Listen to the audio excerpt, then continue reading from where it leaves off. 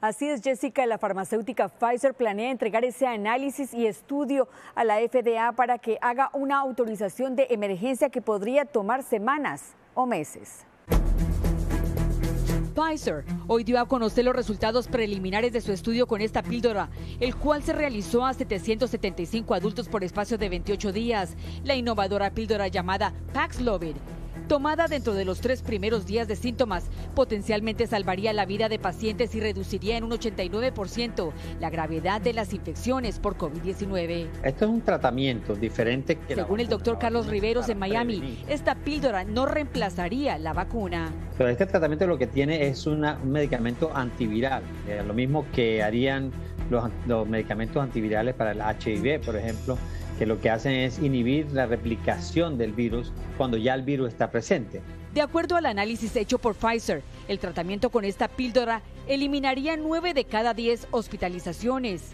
Este tratamiento también podría ayudar eh, a la vacuna para que esa persona que se infecta, a pesar de tener la vacuna o no, eh, no vaya al hospital.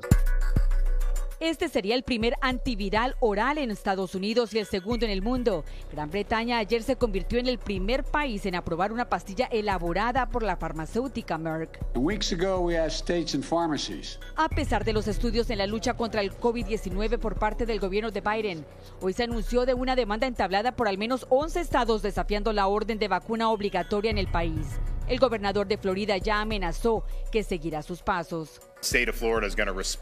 El estado de la Florida responderá y combatiremos la regla OSHA. Tan pronto como se publique, el estado de la Florida se unirá a Georgia y Alabama.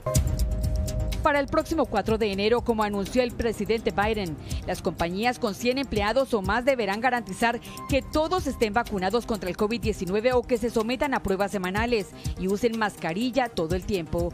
Las compañías que no cumplan enfrentarían multas de hasta 14 mil dólares por violación.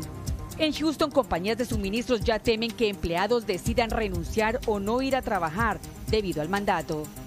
Con este nuevo mandato, los empleadores no están obligados a pagar por las pruebas de COVID-19 de aquellos empleados que no se quieran vacunar. En cuanto a la píldora, un panel de la FDA estará evaluándolo a final de este mes para emitir esa autorización de emergencia.